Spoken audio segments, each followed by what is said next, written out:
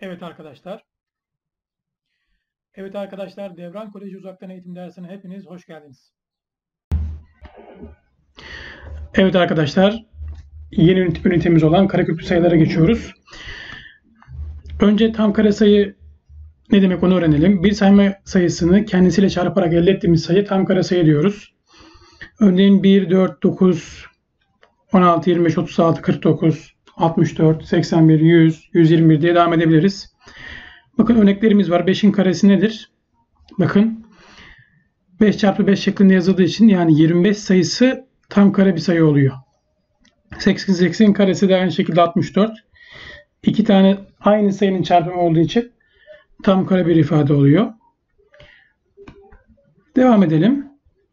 Şimdi bu şekilde bakarsak bu sayıların karesini bulmaya çalışalım.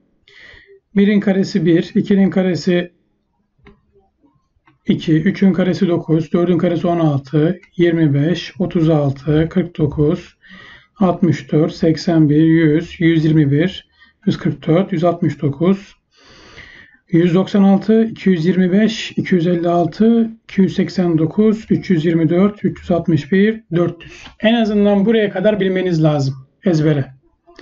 441, 484, 529, 4, 576, 625 ve 900.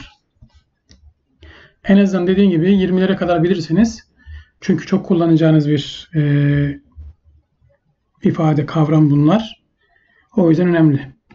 Hatta seneye de yani seneye derken lise hayatınızda da çok lazım olacak bir konu karekök sayılar. O yüzden e, iyi kavrayalım. Devam edelim. 10 ile 7 arası 70 arasında kaç tane tam kare doğal sayı ne var? 16 var.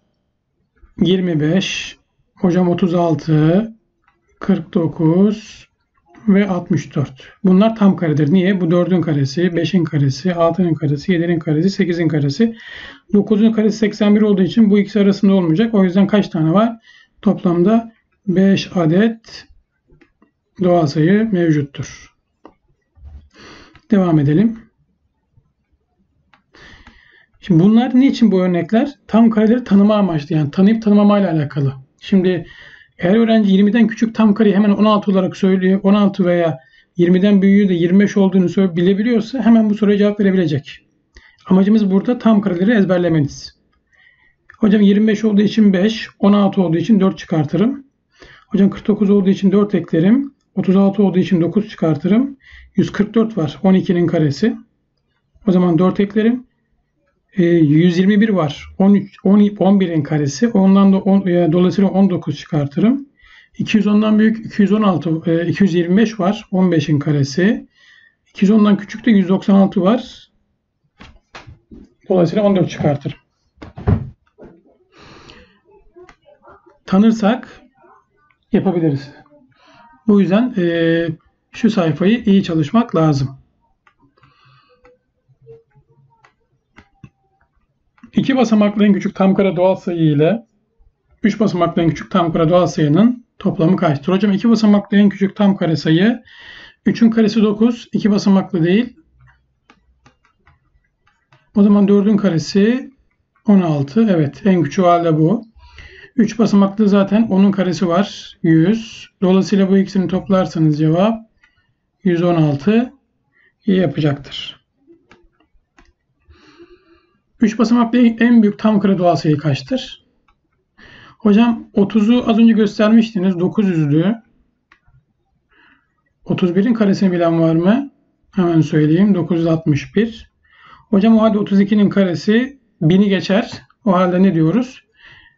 3 basamaklı en büyük tam kare doğal sayı 961'dir diyoruz. Anlaşılıyordur umarım. Şimdi de karekök alalım. Biz genel olarak karekök almayı mesela şöyle bir örnekle gösterebilirim. Bir tane karemiz var. Alanı 25 santimetre kare. Alanı 25 santimetre kare olan bir karenin bir kenarını bulma işlemine biz karekök alma diyoruz. Mesela 25 yazarsam 25 o zaman bir kenarı ne olacaktır? 5 olacaktır. Yani kare almanın tersi. Mesela 0 o zaman karekökü ne olacaktır? 0 olacaktır. 1 alanı 1 ise mesela 1 çarpı 1'den 1 olacağı için o zaman bir kenarı ne olacaktır? 1 olacaktır. Mesela 4 olsa ne deriz bir kenarına? 2 çarpı 2 deriz. Bakın aynı sayılar. Ben genelde şu şekilde yapıyorum. Karekökün içini bir hapishaneye benzetiyorum. Ee, hani hapishanelerde böyle bir belli bir ücret ödeyip çıkma var ya kefaret ödeme. Onun gibi. Bir de biz bunu ne için karekök diyoruz biliyor musunuz? Şurada aslında 2 e, olduğu için. Yani yazmıyoruz genelde biz matematikçiler. Ne yani hocam ben buraya 3 yazabilir miyim? Tabii ki yazabilirsin. Hatta istersen 100 bile e, yazabilirsin. Yani matematikte bu konular var. Bunları lisede göreceksiniz. Siz şu anda en küçüğü olan karekökleri görüyorsunuz. Şimdi o halde bu nedir? 7'nin karesidir. 7 çarpı 7'dir. O zaman ne olarak çıkacak? Kefaretini ödeyecek. 7 diye çıkacak. Onun karesi. Hocam şimdi burada 2 var ya 2 2'ye bölüyorum. Yani kefaretini ödüyor. Ne oluyor? 10 diye çıkıyor. Hocam 121 de neydi? 11'in karesiydi. Hocam 169 bakın şurayı önce buluyoruz. 13 önünde bir de eksi vardı. Eksi 13. 169 14'ün karesiydi. 225 15'in ama hocam önünde eksi var. Hocam 20 Hocam bu 25'in de yanlış yazdınız. Ama önünde bir de ne var? Eksi var. Bu arkadaş da 30'un karesi. Yine aynı yere geliyoruz. Bu şeyleri tam kareleri ezbere bilmek size çok kolaylık fayda sağlayacaktır. Şimdi x kare eşittir 64 ise x'in alabileceği değerleri bulunuz. Şimdi neyin neyle aynı, aynı iki sayı çarpacağım 60, 64 çıkacak. O zaman x ne olabilir? Hocam 8 olabilir. Peki hocam x eksi 8 olamaz mı? Olur. Çünkü ben x yerine eksi 8 yazarsam ne olacak? Eksi 8'in karesi eşittir 64 olur. Hocam niye parantez koydunuz? Üstü sayılardan hatırlayın. Harf yerine ben sayı koyduğumda ne yapıyorum? Ne yapmak zorundayım? Parantez koymak zorundayım. Devam edelim. Y kare eşittir 81 ise yeni alabileceğim büyük değer en küçük değerden kaç fazladır? Hocam y kare 81 ise y o zaman 9 olacaktır ya da y eşittir eksi 9 olacaktır. Arasındaki fark kaçtır? 9 eksi eksi 9 cevabımız ne olacak? 18 fazladır hocam. Devam edelim. Şimdi biz hep tam kareleri dışarı çıkardık. Peki tam kare olmayan bir sayıyı nasıl dışarı çıkarabiliriz? Hocam 5 üzeri 10. Az önce demiştiniz ki kefaret öderse çıkabilir. Şurada 2 var. Şu arkadaş onu 2'ye bölersem ne olur? 5 üzeri 5 diye bakın kefaretini ödedi ve çıktı. 6 üzeri 8. 8'i 2'ye böldüm. O halde ne çıktı? 6 üzeri 4 diye çıktı. Şimdi burası önemli. Kökün içi negatif olamaz. Yani şöyle bir ifade göremezsiniz. Eksi 64. Bunu ne zaman göreceksiniz? Lisede göreceksiniz. Karmaşık sayılar konusu adı altında. Bu olamaz. Peki hocam bu olabilir mi şu haliyle? Şimdi biz üstü sayılarda öğretmiştik. Parantezin dışı çiftse bunu ne yapacak? Pozitif yapacak. Aslında bu ne demek oluyor? Şununla aynı demek oluyor. Bakın bununla bunu karıştırmayın. İkisi aynı şeyler değil. Eğer bunun da şöyle bir arkadaşı olsaydı yanında o zaman evet bu da olur derdik. Ama şu şekilde bu yazılamaz. Şöyle bir ifade olamaz. 3 üzeri 12 o zaman ne olacak? Kefaret öderse 3 üzeri 6 diye çıkacak. Tamam mı? Devam edelim. Az önce zaten bahsetmiştim bundan. Bunu ben ne olarak görebilirim? 10 üzeri eksi 6 olarak görebilirim. Hocam eksi 6'yı 2'ye bölerseniz 10 üzeri eksi 3 olacaktır bu ifadenin karekökü. Peki hocam 2'ye bölünmeyen bir şey olursa ne yapacağız? Bu örnekte olduğu gibi şöyle yapacağız. Ben şunu şöyle ayırabilirim. 5 üzeri 8 çarpı 5 üzeri 1 diye ayırabilirim. Tek sayı olduğu için o teki dışarı atıyorum. Bir tanesini. Şimdi bakın bu bedel ödeyecek, e, kefaretini ödeyecek, bedelini ödeyecek ne olarak çıkacak? 5 üzeri 4 diye çıkacak. Fakat bu arkadaş çıkamayacağı için ne olacak? Hala içeride kalacak. Maalesef. Buraya bakalım. Hocam 36 bedel öder pardon 36 bedelini öder 6 diye çıkar. A üzeri 6 bedelini öder A üzeri 3 diye çıkar. B üzeri 4 bedelini öder B üzeri 2 diye çıkar. Yani üssü 2'ye bölüyorum. Devam ediyorum.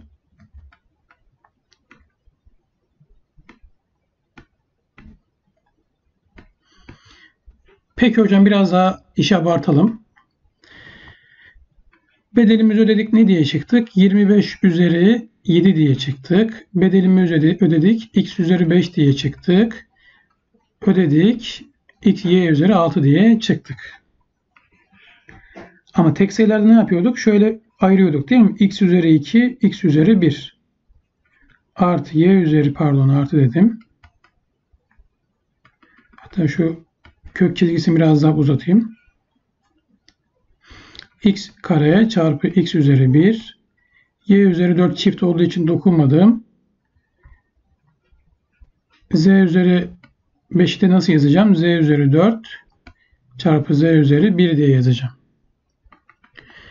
Hocam kefaret öder x diye çıkar.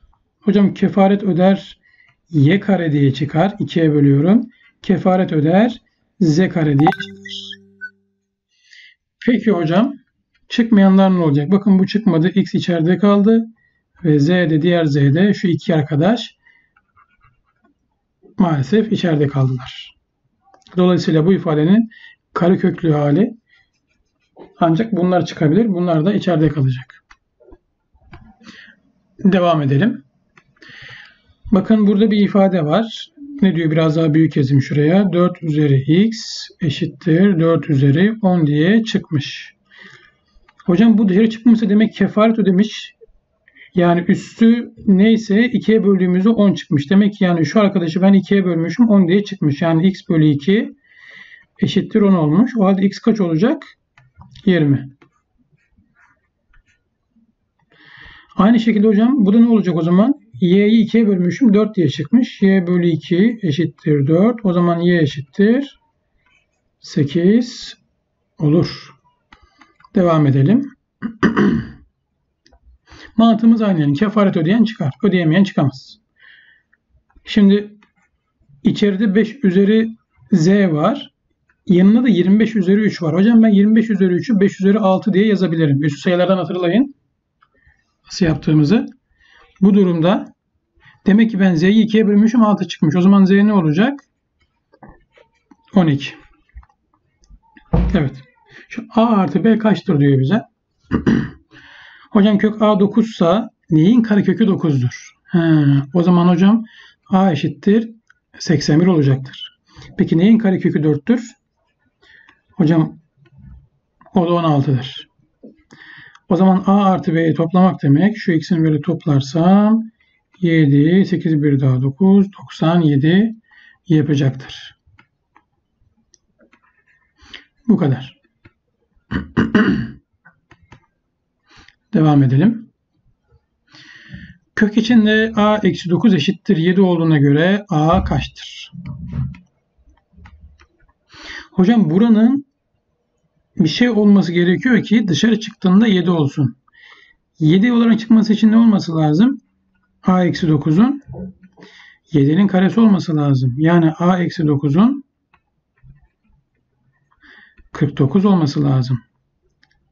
Peki a eksi 9 49 olursa ise a ne olacak? 58.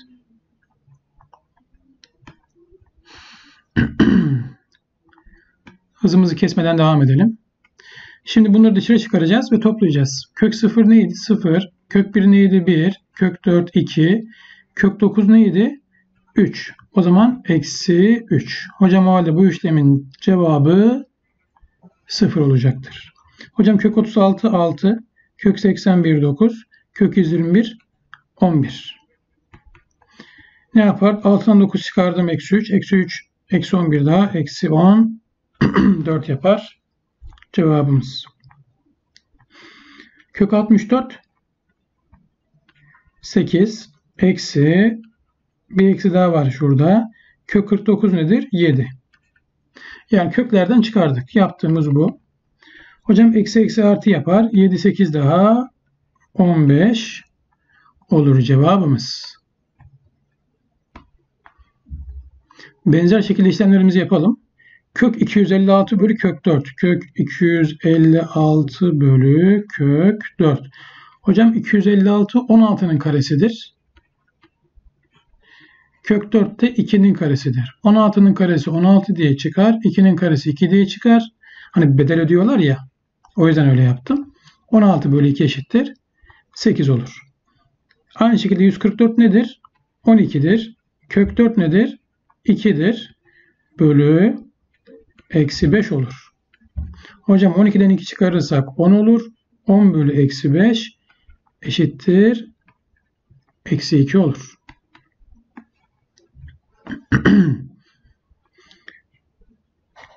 Şimdi şuraya bakalım. Kök 16. Önce kök 16 var. Ne çıkıyor kök 16? 4 diye çıkıyor. Ama bakın şurası 4 diye çıktı. Fakat dışarıda bir tane daha kök var. Artı. Hocam şurası da 9 diye çıkar. Ama dışarıda onu bekleyen bir kök daha var. Kök 4 de 2 diye çıkar.